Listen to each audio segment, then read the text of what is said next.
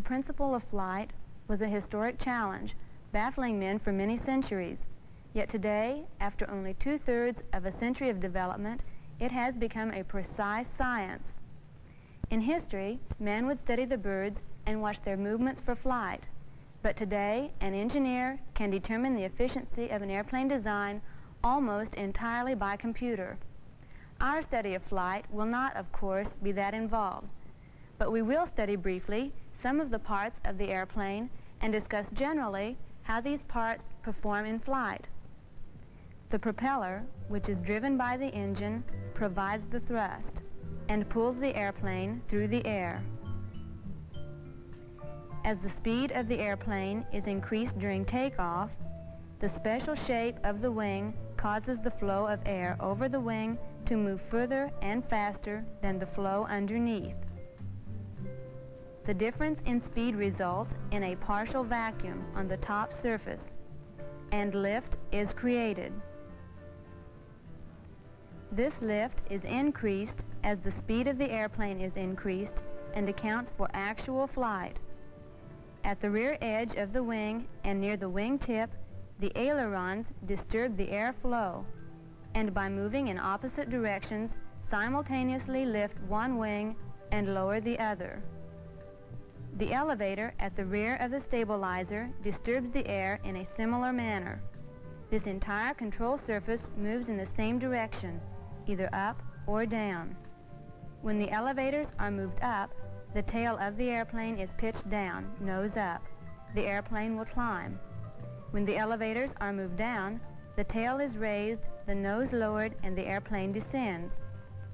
The rudder at the rear of the vertical stabilizer swings left or right, moving the tail to the right or left. It would be a lot easier to understand the parts we have just been talking about if we could see them on an actual airplane. And so I would like you to meet Jack Kramer and this colorful Beechcraft Musketeer. We've been talking, Jack, about the different parts of the airplane, and perhaps you would like to explain these parts to us. Fine. Let's start with the wing. All right.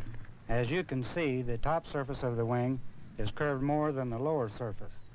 And as the wing moves through the air, this causes the air passing over the top of the wing to travel further and faster, thereby creating lift. Now let's move around to the aileron. These are the ailerons. There's one located on each wing. They're used in turning the airplane. The ailerons are positioned by movement on the control wheel.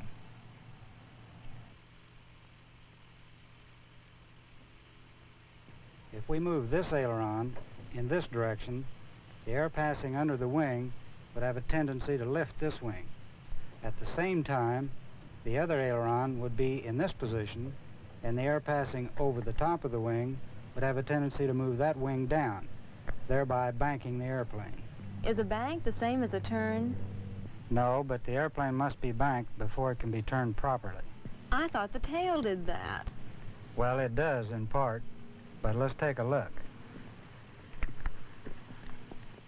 In order to make what we call a coordinated turn, the rudder and aileron are applied at the same time. The rudder is moved by the rudder pedals on the cabin floor.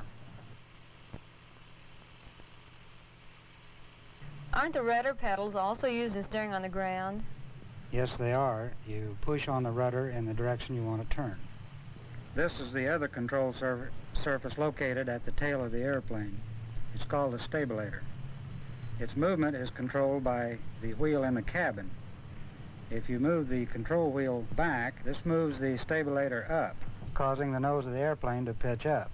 If the wheel is moved forward, the stabilator is moved down and causes the nose of the airplane to pitch down.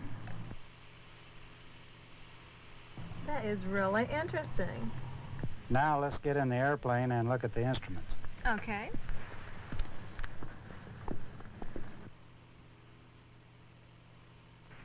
As you look at the instrument panel, you're probably wondering what the different gauges are for. And we'll start with the altimeter, which measures the weight of the atmosphere and indicates our height above sea level. the weight of the atmosphere changes from one part of the country to the other, and we have to make adjustments in the instrument uh, when this happens. How do I know what the setting should be? We can get this information from the tower, and then we use this knob to set the small numbers in the window at the right side of the instrument. Okay, now let me get this straight. We use the altimeter to determine our height above the ground or uh, the altitude. That's right, the altitude from the altimeter and our speed from the airspeed indicator.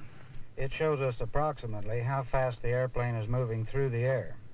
This is determined by the velocity of the air entering the pitot tube. Now, where is this pitot tube? It's located under the leading edge of the left wing. Okay. The airspeed from the airspeed indicator. That's right. And now to determine what direction we're flying, we can use either of the two compasses installed in the airplane. This is the magnetic compass, and it's used to determine the direction the airplane's flying. The last instrument we're going to discuss is the tachometer, which is located on the left of the panel. This instrument indicates how fast the engine is running. Now that we've looked the airplane over on the ground, we've seen all of the components and the instruments. Uh, we need to take it into the air and fly it to fully appreciate what the airplane will do. Uh, have you ever flown a light airplane before? No, I haven't. Well, then why don't we do it today? Okay. If you're ready to go, I'll start the engine.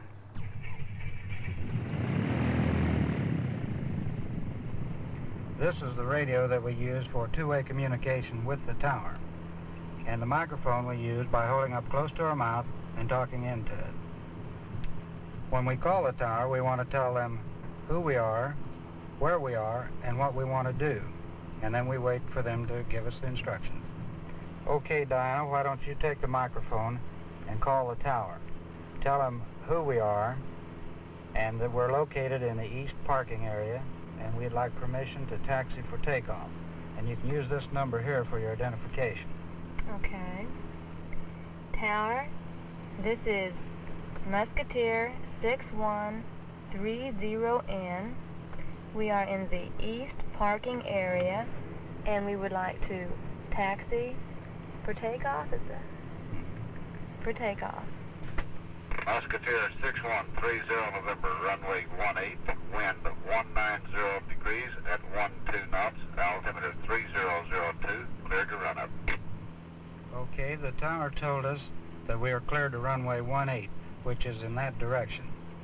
They also told us that the wind was from 190 degrees, which is a little west of south, and that the velocity was 12 knots, which is almost 15 miles per hour and the altimeter setting was 3002, which we'll set into the little window on the right side of the altimeter now.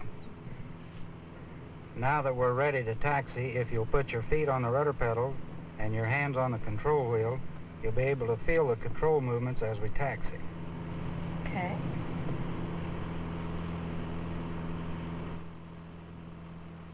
Now just relax. I think you'll enjoy this to steer the airplane on the ground, if we want to go to the left, we'll push on the left rudder pedal. And if we want to go to the right, we push on the right rudder pedal. Now let's stop here for just a moment and check the engine out before takeoff. There is a list of things we check before each flight. It's known as a checklist. Tower, this is Musketeer 6130 November, ready for takeoff. Musketeer 6130 November, cleared for takeoff. Now move out on the runway and line up on the center line.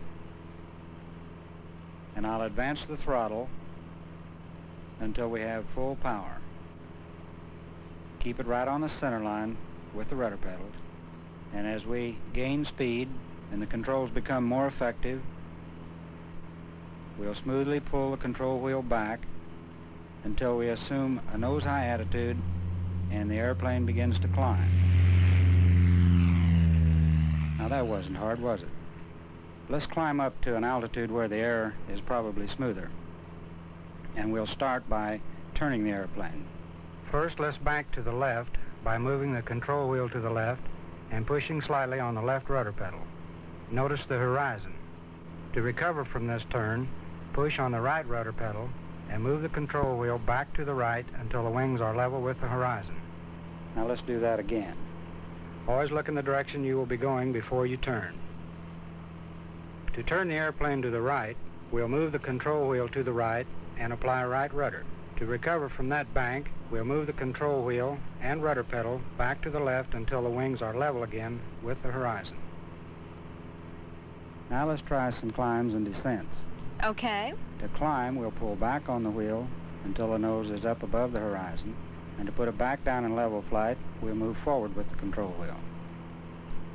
To descend, we push forward on the control wheel until the nose is below the horizon. And to bring it back to level flight, we'll pull back on the control wheel.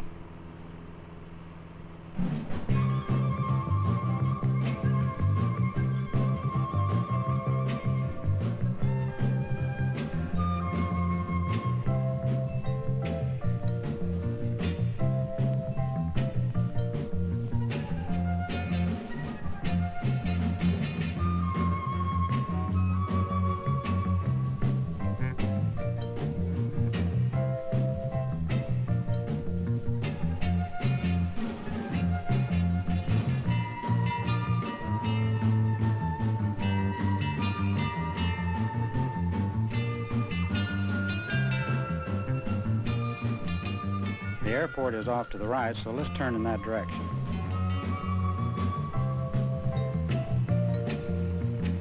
Now line the airplane up with the runway.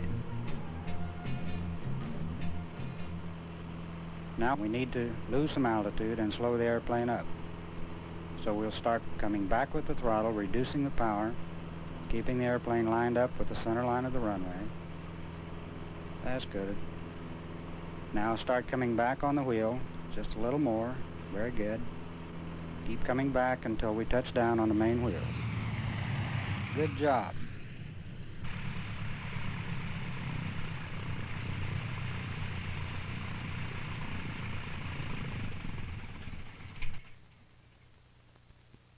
After a few more lessons like this, you should be ready for solo.